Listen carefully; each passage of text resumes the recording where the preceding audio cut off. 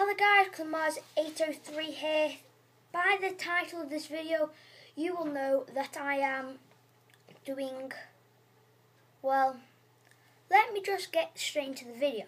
So, also I'm sorry about the quality I'm filming on my phone because I'm dead excited about telling you guys this.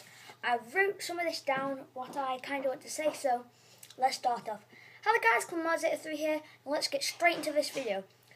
So, we're all expecting for a meteor to hit Tilted Towers on April the 1st, but obviously this was not true. Now, I've done some research when it'll happen. So first off, some of us have had random controller vibrations, and Epic Games have claimed that this was just a glitch.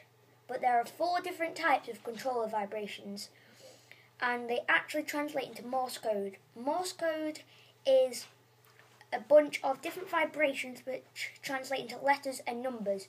And this is what they said SOS D5 418. Now, what does this mean?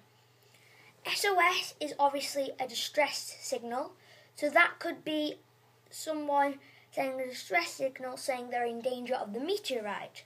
Now, D5, if you would look on the Fortnite map, when you're, for example, in the battle bus and you're deciding where you want to go, Tilted Towers is actually in D5 because there's numbers and letters across the axes. So, and yes, 418 is, well, we believe that 418 translate into a date. Now, 4th is obviously April because January, February, March, April, that's the 4th.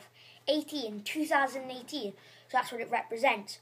And also, we can tell this a little bit more because if you also look at the map of Poland, it looks like the map of Fortnite. And also, there was a meteor shower back a while ago, near enough in the exact place where Tilted Towers is. So again, we've got SOS, a distress signal from Tilted Towers, because it's from D5, April the 18th. Yes, the 18, I forgot to mention this, it also represents April 18th, because 4th, 18th, April 18, because we were all expecting it, I know I'm going on a bit too far, but we we're expecting it to be on April the 4th, but now with all this research, we believe that it's on April the 18th.